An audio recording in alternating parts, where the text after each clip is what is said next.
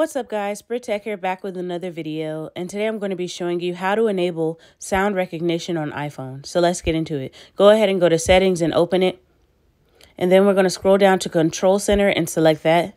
So first we're just going to add sound recognition to the control center.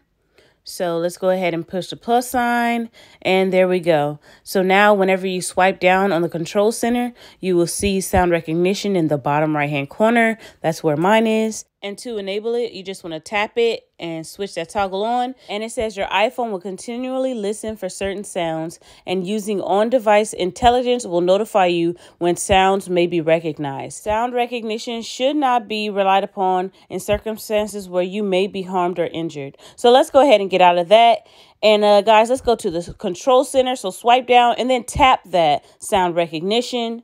And right here, this is where you can customize what sounds you want to look out for. So by doing this, Hey Siri is not available while using sound recognition. So just select that you understand this and turn on sound recognition.